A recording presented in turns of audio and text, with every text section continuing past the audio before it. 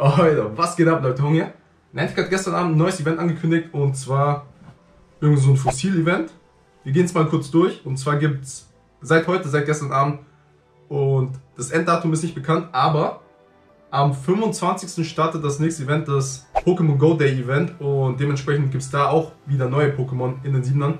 Deswegen denke ich mal, läuft das Event nur bis dahin, also sechs Tage ungefähr. Und in dem Event jetzt in dem Fossil-Event gibt es aus den Siebenern Ammonitas, Kabuto, Ergodactyl, Liliep, Anorid, Cognodon, Schultergos, Galapflos und Flapterix. Für mich persönlich interessant, Flapterix. Das war's. Nur Flapterix. Galapflos habe ich mir direkt als er rauskam, neu, ein 100er Lucky getauscht. Er tauscht.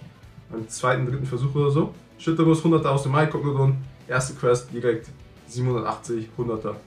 Rest interessiert mich nicht. Und ja, um ehrlich zu sein, äh, nicht so toll. Es gibt eine Menge Aufruhr jetzt bezüglich der Eier und den ganzen Ei-Events und sowas. Darauf gehen wir gleich ein, aber an sich das Event oder Bonus, was auch immer das sein soll, äh, das ist ja schrecklich.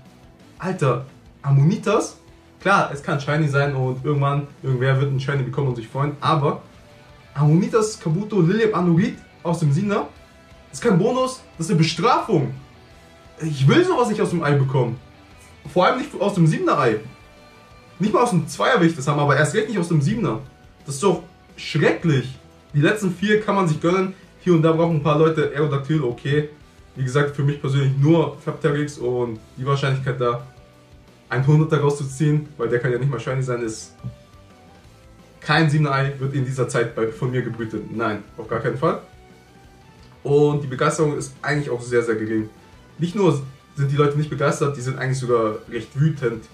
Wir haben ja jetzt in letzter Zeit auch schon öfter das Thema angesprochen, wie zum Beispiel jetzt beim Neujahrsevent, Chinese New Year, da gab es ja Flampion nur in den Siebenern. Und jetzt dann während des Events gab es dann Shiny Comelot. Also Flampion zum Beispiel habe ich nicht gejagt. Das hat, mir, hat sich nicht gelohnt für mich, fand ich. Die, der Rest war so schrecklich.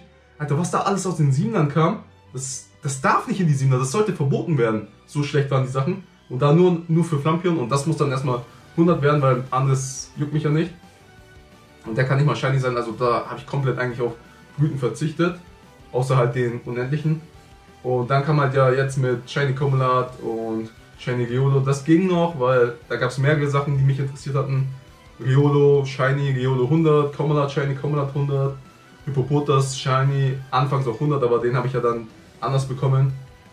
Oh, wie Ne, Schmarrn mit der Map. Checkt die Videos über die Map ab, falls ihr da mehr wissen wollt. Und sonst kam da aber auch viel Müll raus. Und jetzt halt dann eben zum Beispiel beim Valentinstags-Event, wo Niger nur aus den Siebenern, nur durch Brüten, nur durch Geld ausgeben. Und das ist der springende Punkt, Geld ausgeben. Und ich dachte jetzt zum Beispiel, jetzt wird gechillt, die Siebener sind wieder ganz normal, wir können uns ein paar Vonaga brüten, weil normalerweise brüte ich eine Menge Vonaga. Auch Pariole habe ich schon gebrütet, ohne Event, ohne dies, das. Dachte ich mir, wieso nicht? Brüten wir jetzt nur noch 7 Eier. Jetzt kommt wieder so ein komisches Event, wo man brüten muss oder sollte. Aber wie gesagt, mich spricht das Event nicht an. Aber der Aufruhr ist groß. Jeder YouTuber hat eigentlich schon ein Video dazu gemacht und die gedisst.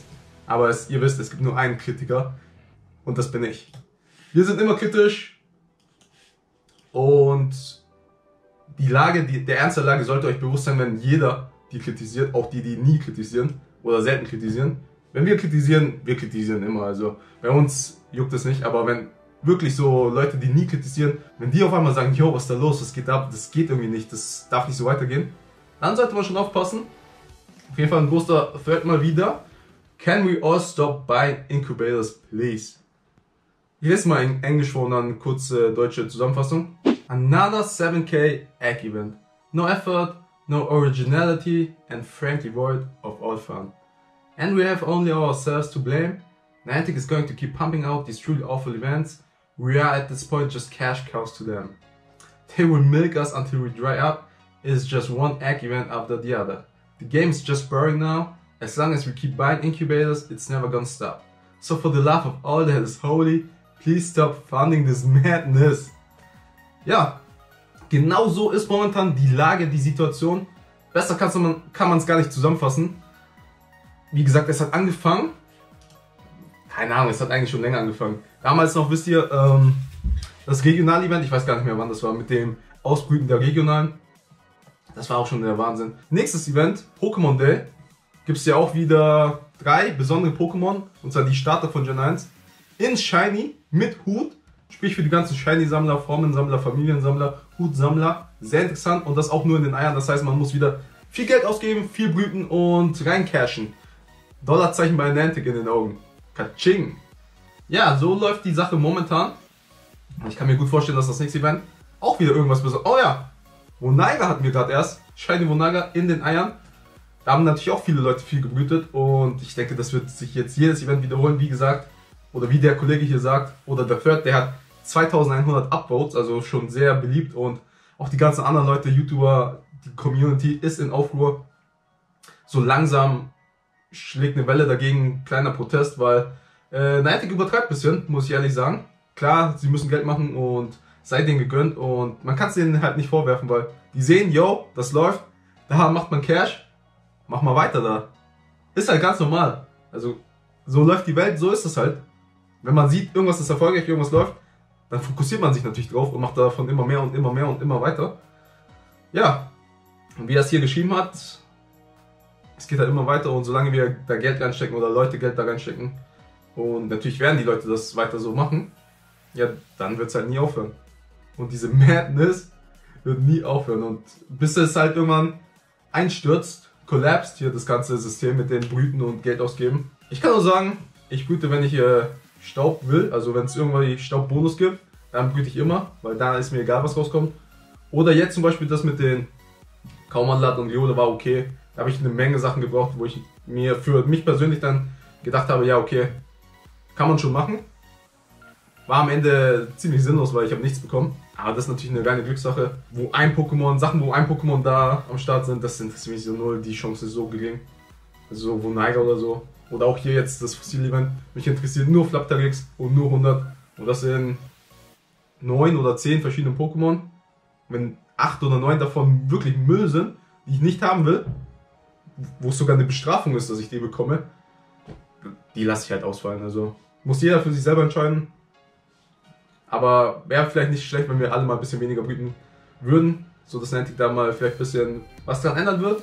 Aber eure Meinung dazu gerne in die Kommentare. Wie findet ihr das jetzt mit den ganzen Ei-Events und dass manche Sachen, viele Sachen Ei-exklusiv sind und dass wir da immer mehr Geld reinstecken sollen und immer mehr brüten sollen? Brütet ihr überhaupt eine Menge? Macht ihr da mit bei der ganzen Sache oder weigert ihr euch da schon seit langem, da überhaupt irgendwas noch zu brüten? Ich meine, wir hatten ja auch die ganze Thematik mit den normalen Eiern. Die waren ja auch Ewigkeiten richtig schlecht und nichts hat sich gelohnt zu brüten. Niantic hat jetzt ein bisschen was geändert und 10er sind ganz okay geworden.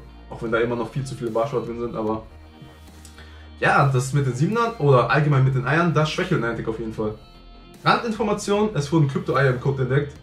Das ist noch eine ganz andere Sache. Mehr Infos dazu irgendwann mal, aber jetzt, wo wir gerade über Eier reden, eure Meinung zu den ganzen Eiern und der ganzen Eier-Thematik und dem Abzocke-System von Niantic in die Kommentare. Das war's von mir, Leute. Ihr wisst Bescheid, wie man liken, subscriben, kommentieren.